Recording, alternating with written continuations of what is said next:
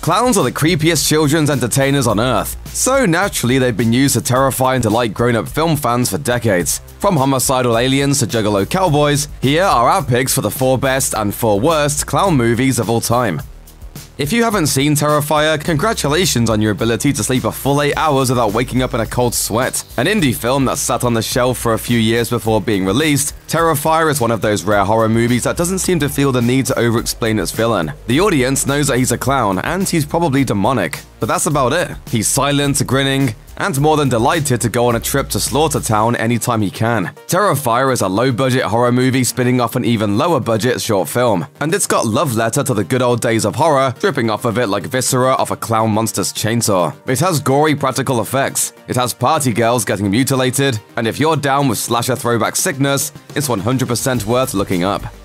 Yes, 1990s TV version of It is charming in its own way. It's a slice of horror filmmaking from a simpler time, but it's just a bit agonizing to watch without the rose-colored glasses of nostalgia. Don't get us wrong, Tim Curry's performance as Pennywise is fantastic. It's a movie around him, hampered by a made-for-TV budget and content restrictions that hasn't aged well. There's a barely animated giant spider at the conclusion. There's a rough acting and a dramatic screaming about Pennywise being too mean. There's the filmmaker's steadfast faith in the usually outstanding Harry Anderson's comedic stylings being able to carry the day, only to watch him uncharacteristically drop the ball. Come on, Tozier, get a grip.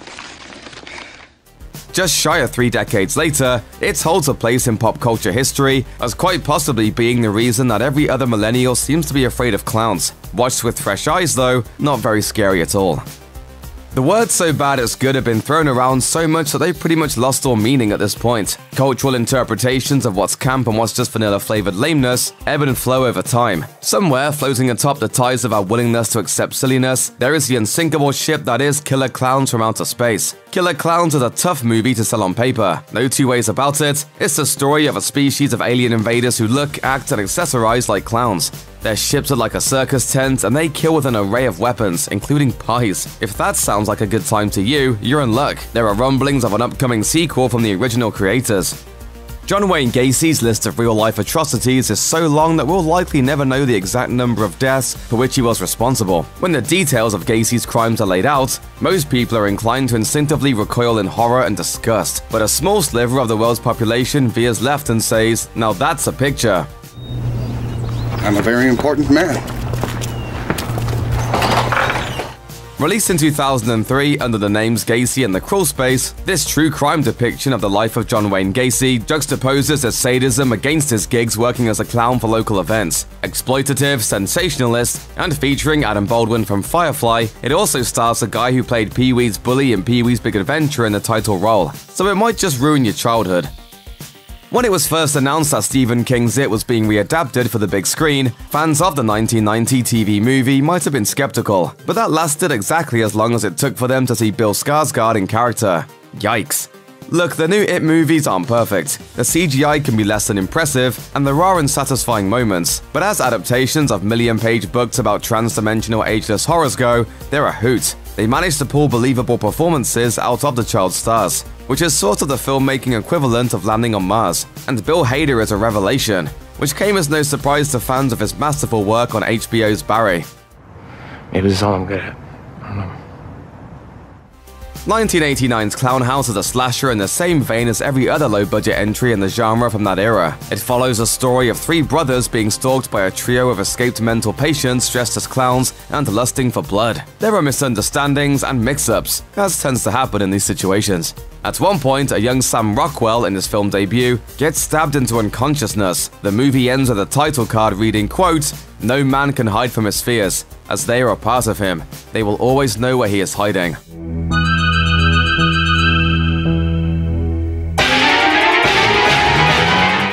And you know what? That would have been an okay ending to an unremarkable and largely dull movie if it wasn't for the real-world horror happening behind the scenes on the set of the film. Director Victor Salva abused one of Clownhouse's child stars and was convicted and sentenced to three years in prison, ultimately serving less than half of his sentence before popping back onto the scene to direct Powder in 1995. His career has continued with movies like the Jeepers Creepers franchise and a constant low-grade public curiosity as to how this guy still has a career. Cult filmmaker Bobcat Goldthwait is a national treasure. Once a comedian known for his aggressively annoying persona, he's become a director whose movies tend to be tragic, complicated, peculiar, excessive, and agonizing. Before World's Greatest Dad and God Bless America, he wrote and directed a movie called Shakes the Clown, and it's been dividing critics and audiences ever since. The elevator pitch version is that it's the story of an alcoholic birthday clown who's framed for murder and has to outfox the borderline Mad Max level gangs of performers who rule the entertainment circuit. The more complicated version is that it's Goldthwait's representation of the comedy cliques that exist at every open mic community in America. Some critics called it amazing, some called it terrible. Perhaps the highest praise came, believe it or not, from Martin Scorsese, who called it the Citizen Kane of alcoholic clown movies. Okay. Salute. Over the years, it has become almost a rite of passage for a successful band to dip their toes into the world of Hollywood. The Beatles had classics like Help and Yellow Submarine. The Spice Girls irrevocably changed the geography and political structure of the Earth when they terraformed the planet into a newer, better spice world. And in 2010, a posse of chemically imbalanced clowns proved once and for all that just because you can't figure out magnets doesn't mean you can't run a camera. Big Money Rustlas is a long-awaited follow-up to 2001's Big Money Hustlas, the first Insane Clown Posse movie. It's set in the wild American West of 1837 for some reason. Visually, it appears to have been shot on a budget of whatever loose change was wedged into the cushions of their insane clown couches. The script seems to have been less written and more found somewhere. Big Money Rustlas was pretty obviously a movie made for the fans fans. It's goofy and weird, but if you don't care at all about ICP, the whole thing is just borderline unwatchable. The name's Wolf. Sugar Wolf. As in. Check out one of our newest videos right here. Plus, even more Looper videos about your favorite cinematic clowns are coming soon. Subscribe to our YouTube channel and hit the bell so you don't miss a single one.